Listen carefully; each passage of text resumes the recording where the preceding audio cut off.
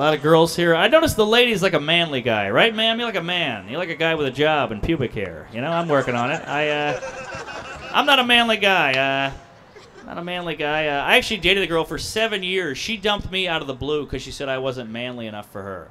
And at the time, I liked her so much, I was like, I'll do anything you want. What do you want me to do? Work out? Join the army? Hit you? Whatever you need, I'll do it. I'll do anything.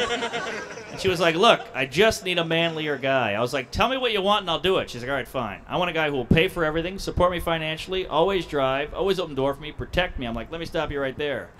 Not a man. Good lord, of course you want to date that guy. That guy sounds amazing. I would date that guy, you know? My friends be like, hey, Mark, are you gay now? I'm like, hold on. You haven't met Jeff.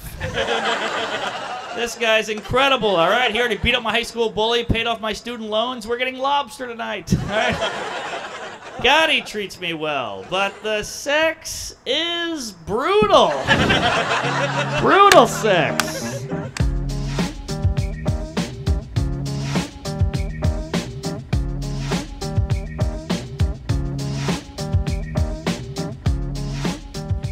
Nervous around this time of year because beach season is right about to happen. Maybe we're already in it, uh, which is horrifying. Ladies, can I get a silence? Thank you.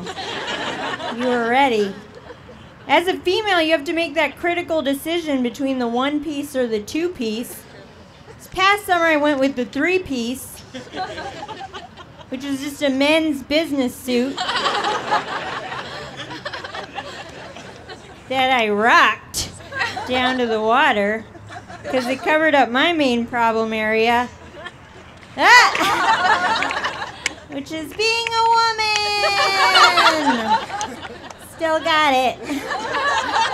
Low self esteem. I still have that. I got a call from a friend of mine, and he reminded me about uh, a shitty prank I pulled on a friend when I was 19, and I was driving home from a show, right? And uh, I'm in the passenger seat, and um, my friend Will, he's a comedian. Will's driving a car. He's also white, right? And uh, the car hits a red light, and it stops.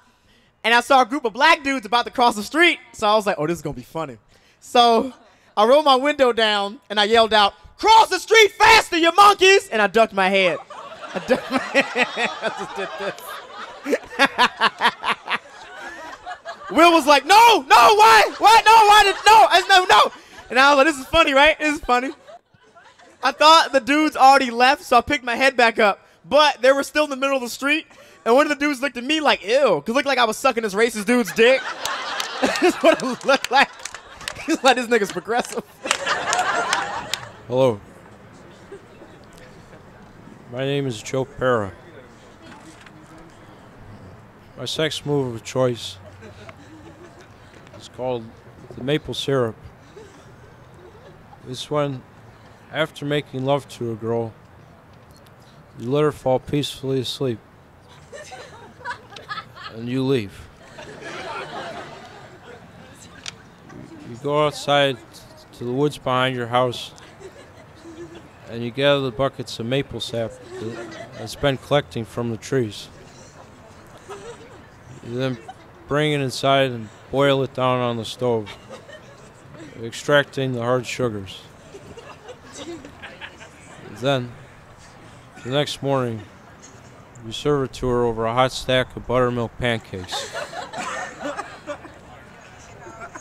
It's a lot of work, but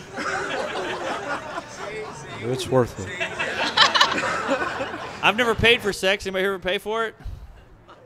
Oh, cameraman, give me a wink. All right. Um, I don't think there's anything wrong with paying for sex, creepy guy. I really don't. You know, because sex is just a need like anything else. Why is that the one need we have where it's frowned upon if you pay for it?